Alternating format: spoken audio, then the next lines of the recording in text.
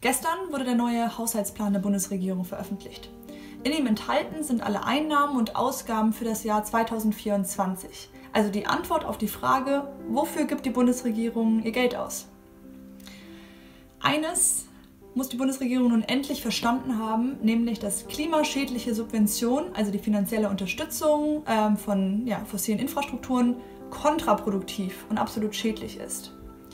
Zumindest hat sie es jetzt mal geschafft, ein, äh, eine Steuer zu erheben auf Flugtreibstoff für Inlandsflüge. Das ist diese sogenannte Kerosinsteuer. Das zeigt, dass Druck wirkt. Das zeigt aber auch, es braucht mehr davon. Denn das ist nur der erste Schritt. Im Haushaltsplan steht auch, dass der Preis für CO2 teurer werden muss. Das soll zum einen Anreiz bieten, weniger zu emittieren, also weniger CO2 auszustoßen und gleichzeitig soll das Geld ähm, für den Klimaschutz reinbringen. Was erstmal irgendwie gut klingt, hat aber einen Haken. Und zwar bedeutet es, dass es einen ähm, mehr Kostenaufwand für die Bevölkerung hat. Diese Folgen werden Kosten für das alltägliche Leben der einfachen Bevölkerung haben. Und das aufzufangen, das sieht der Haushalt überhaupt gar nicht vor. Was also gut klingt, ist für die äh, Mehrheit vor allem teuer. Aber so muss das nicht sein, denn das Geld, das ist dafür da. Nur halt nicht bei der Bundesregierung. Dafür hat nämlich die äh, Steuerpolitik der letzten Jahre gesorgt. Während die Preise für Essen, für Heizen, für Strom immer teurer werden, gibt es noch immer keine Vermögenssteuer. Der Spitzensteuersatz, der ist in den letzten Jahren einfach immer weiter gesunken. Die Unternehmenssteuer ist viel zu gering und was bedeutet das denn eigentlich überhaupt? Das bedeutet, in Deutschland werden die Reichen von der Bundesregierung nicht angefasst. Wenn Nahrungsmittel, wenn Heizen und wenn ähm, Strom immer, immer teurer wird, dann bemerken das vor allem die Armen. Den Geldbeutel der Reichen, den interessiert das nicht wirklich. Das heißt, während Menschen mit niedrigem Einkommen ihre Heizungen runterdrehen, weil Heizkosten immer weiter steigen, sitzen sehr Wohlhabende immer noch in ihren Wohnungen ähm, ja, wohlig warm und ziemlich unbekümmert. Und wenn Lebensmittelpreise steigen, dann ist das vielleicht ärgerlich für sehr Wohlverdienende, aber es ist fatal für Leute, die ein ganz niedriges Einkommen haben. Und wir dürfen die Leute da nicht alleine lassen.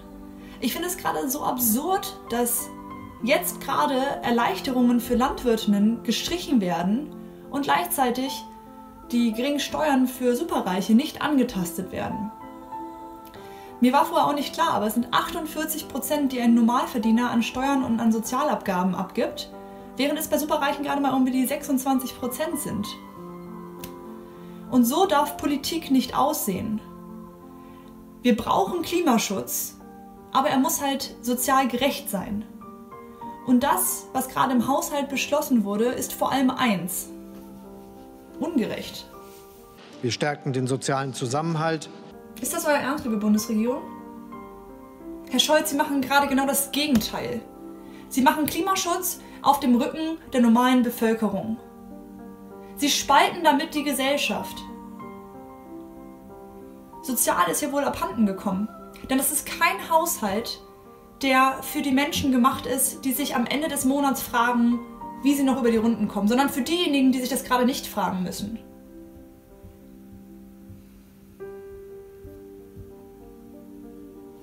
Wo sind die Steuererhöhungen für Reiche?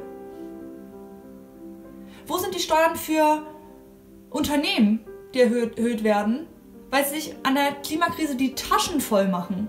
Warum bekommen wir Kreuzfahrten und Dienstwegen und Flughäfen und Finanzspritzen, während andere Menschen in kalten Wohnungen sitzen.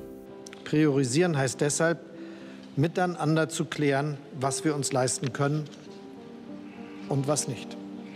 Anscheinend wurde hier genau eins priorisiert, nämlich den Reichen nichts wegzunehmen. Wegen einer Sonderregelung für Reedereien, der sogenannten Tonnagesteuer, fielen auf die Unternehmensgewinne nur 0,65 Prozent Steuern an.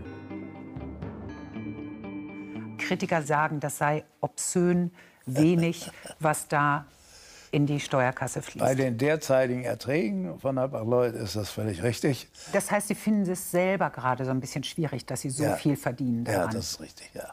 Ach, das, Das ist zu viel. Das ist zu viel. Wesentlich zu viel. Ich habe mir das ja nicht ausgedacht. Ich war selbst überrascht, als ich so erst mal dahinter kam, wie diese äh, Tonnagesteuer abgerechnet wird. Das ist ein Anachronismus. Da es das in allen anderen Branchen nicht gibt, finde ich es auch ein bisschen komisch, sage ich ehrlich. Es ist an der Zeit, dass wir das soziale Zusammenhalten auch endlich leben. Und dazu gehört nun mal, dass Wohlvermögende und sehr gut Verdienende auch ihren Teil der Verantwortung dazu beitragen. Denn nur so schaffen wir es als Gesellschaft, Krisen zu bewältigen, die uns wirklich alle betreffen. Und wir wissen eigentlich, was wir wollen. Wir wollen ein soziales, gerechtes Miteinander. Und dafür braucht es die Politik, die die Weichen stellt und die Grundlage bildet. Und wir brauchen Klimaschutz. Klimaschutz ist notwendig. Aber er muss sozial gerecht sein. Und wenn ihr das auch gerade ungerecht findet, was gerade abgeht, dann kommt mit uns auf die Straße in Berlin. Am 3. Februar um 13 Uhr. Für eine Klimapolitik, die sozial ist, gerecht ist und vor allem jetzt.